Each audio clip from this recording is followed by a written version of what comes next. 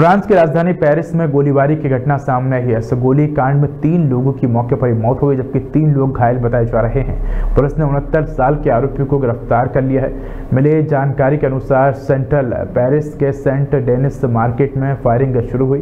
घटना में चार लोग जख्मी हुए हैं। मामले की जाँच की जा रही है। फ़िलहाल इस बाज़ार को बंद कर दिया गया है। हमला किस मंशा से किया गया है, इसकी जानकारी नहीं मिली है। पुलिस ने बताया कि हमलावर ने एक कुर्दिश कम्युनिटी सेंटर के पास से गोलीबारी की है।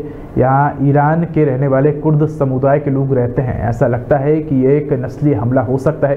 फ़िलहाल हमले की असली वजह सामने नहीं आई है। हमलावर के बारे में उन्होंने कहा कि वो फ्रांस का ही नागरिक है और समय पर पहले से हत्या की कोशिश के मामले दर्ज हैं।